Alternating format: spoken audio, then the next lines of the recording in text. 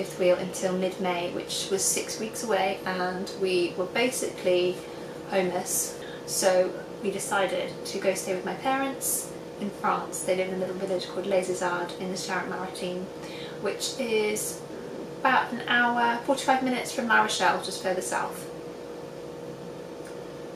Yes, so we packed our lives away um, into a, a little green horse box and we set sail we on the did. ferry We did set sail. to um, St. Malo and it's about a four hour drive down.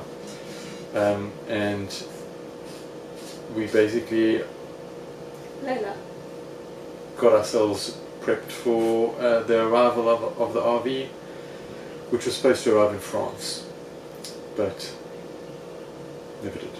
And we stayed with my parents for six weeks in Les Isards waiting for the fifth wheel to be ready because it it had its IVA booked but it was going to take six weeks for the guys to go out and, and, and give it a certificate so we had time to kill. So finally we got the call, didn't we? We did. Um, we about three days before we had to. It was about three days before we had to go up there. Um, well, they were going to meet us on the other side of the port. Um, we got a phone call saying it's all ready. We can come and get it.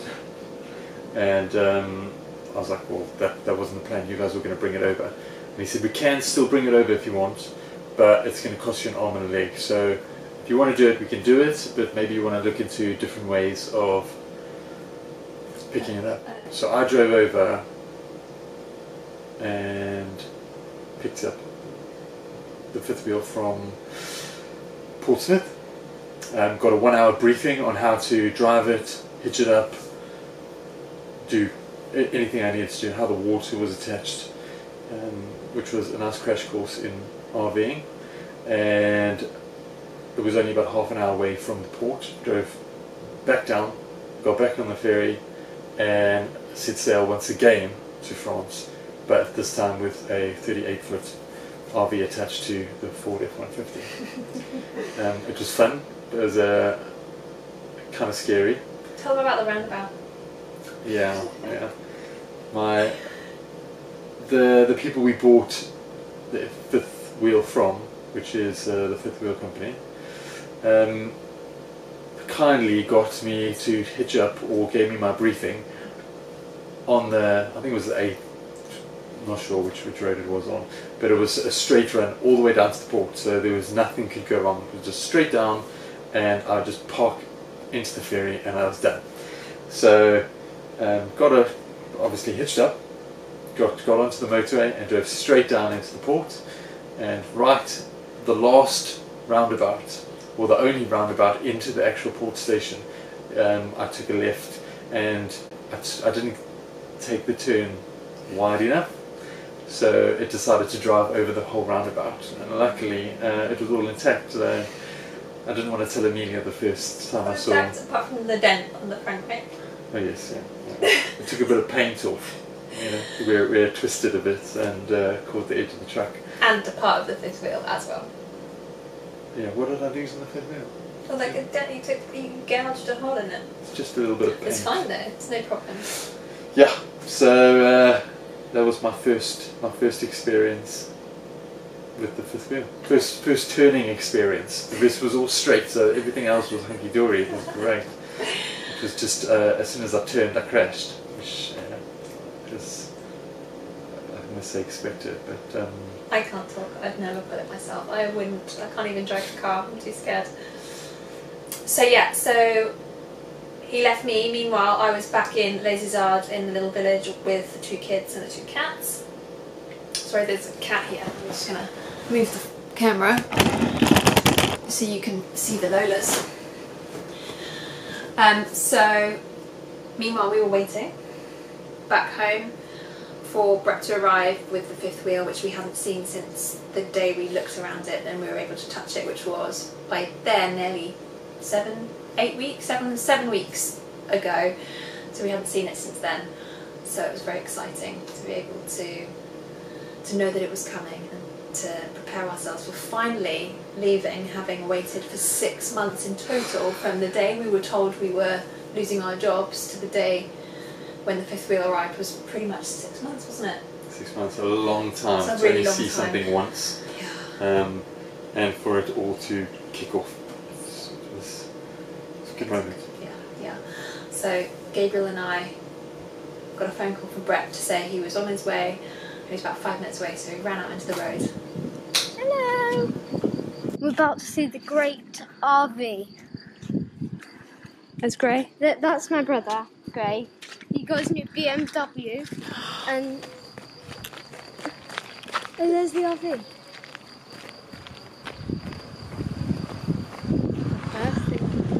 Wow. oh my god, it's massive. It can't even get around the bend. Oh my god, there's our home. So that is our new house. What's grey?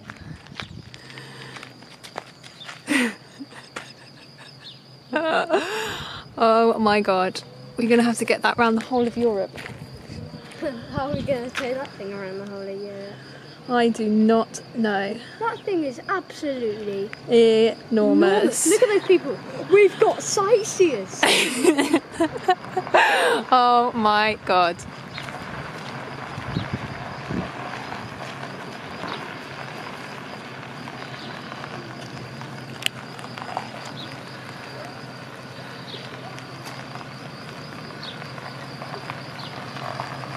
Gabriel, you might want to get the.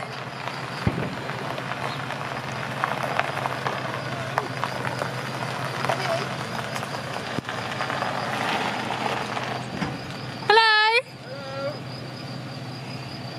So you kept it attached then? we didn't lose it then. Hello, I'm just going to get Daddy. Hello, come on. Where's your daddy? Come on, go and get your daddy. Where are the steps? I thought there were some steps down there for it. Let me see if it let me see on the other It's quite heavy. Here we go. Don't drop it. Really? Have you been in there before? I need to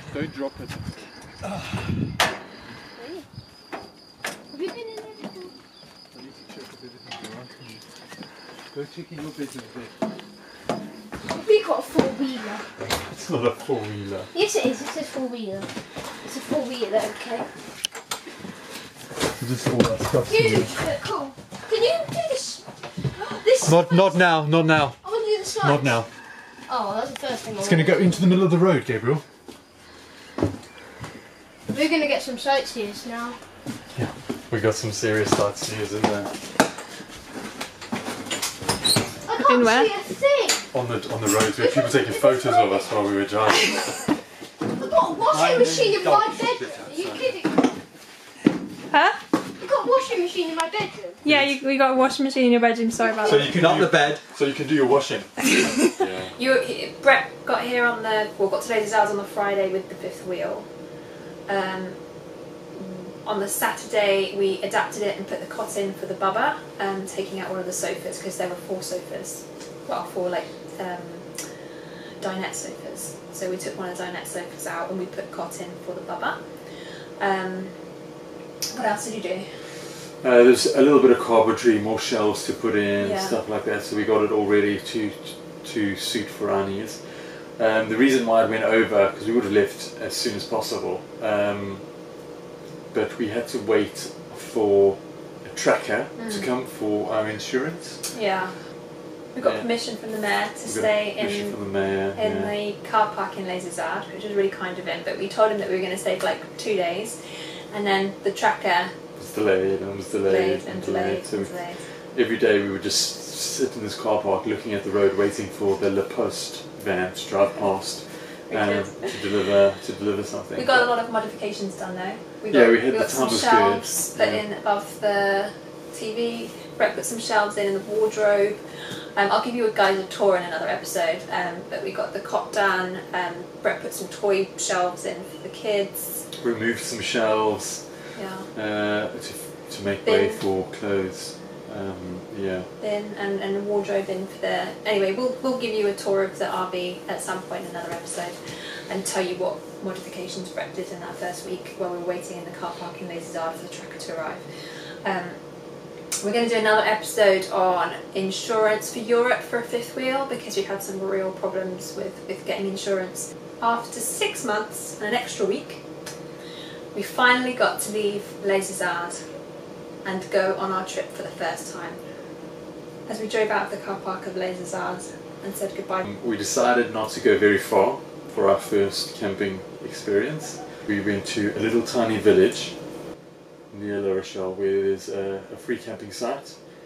saw it on an app called Park for a night, and yes, I didn't really know much about fifth wheels and camping. In fact, in fact, I've never been in a caravan before. I've never been in a tent before. I've never been camping before. So yeah, So we, we drove in, was pretty easy. Came off the, the A road, the big road, double dual carriageway road, um, straight into a village. Everything got very tight. Um, at least there were speed bumps. there were lots of speed bumps. There was a school. There was lots of roadworks. The roundabouts were shut off, so we had to go around. Just everyone had to stop and manoeuvre around. So it was quite tricky. Uh, and then we got to the little campsite, which was quite looked quite good, except it had a 2.6 meter height restriction on it. So we thought, well, we definitely can't fit in there because we're a meter and a half higher than that.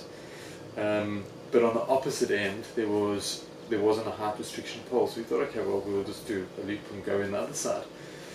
So we drove past the entrance. Once we'd gone around the corner, we realised it was a single lane road, and um, it didn't look like there was anywhere to turn around. No, it just literally went to the sea. Went to the sea, and then it said roadworks up ahead as well, and it said uh, width restriction of like 2.6 meters or something, It just got more and more and more scary, and we were getting it just tighter. And, yeah. So instead of going any further, we decided just to stop on this lane and made everybody drive around us. Um, put the hazards on. Recce, yeah, some recon. So we went down, we walked down, about a five minute walk down. It was a parking lot for a little fish restaurant, I think. Super tight. we, tr- we worked out, I think, for our steps, we are 18 or 16 steps, large steps of mine. And um, I think the longest area in the parking lot was about 16 steps. So theoretically, it could have been done.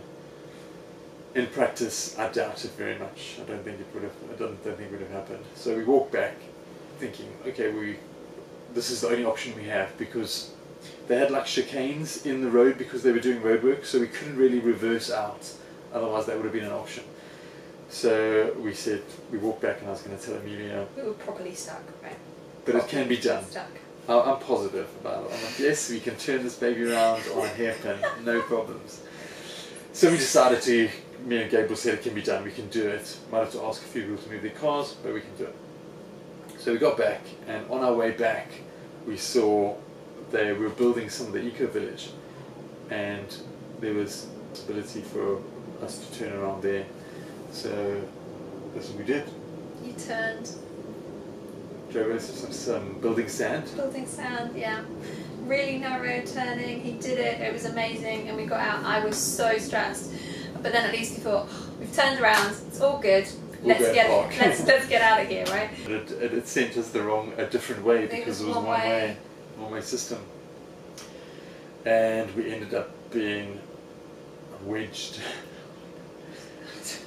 Uh, I swear to you, there was an inch on one side I'm just for going us to to turn get this light past. on because I think it's getting a bit dark now. Cool. There was an inch on our left side passing a wall, and there was an inch on the right side where we asked some guy to move his car and he refused. Then we got out onto the motorway Yeah. in the wrong direction from where we really needed to be. Just looking. just to get onto the A road. We just wanted to be on an A road. we were just yeah. desperate. We were just desperate to get off the, the little roads and to get onto a motorway. So we got onto the A road and we were trying to find motorway aire because they, they allow you to sleep overnight there. and we couldn't find one. It was getting later and later and later. By this time, it was like seven, eight o'clock at night. Gray was screaming, Gabriel was hungry. Um, so we ended up pulling off at what we thought was a rest stop, but it wasn't. It was the back of a hotel, and we parked on the motorway at the back of this hotel and just slept there. And I was I was in bits. I couldn't eat. I, could, I just cried. I just said I don't want to do this anymore. I just want to go home. I just want to sell it. I just want to get a little camper van. Oh no, I was not happy. I wasn't enjoying life. Now, it's awesome. So, in episode three, you can see us heading off to Carcassonne. Hopefully, this time actually going into a real campsite, and nothing could go wrong. Only it does.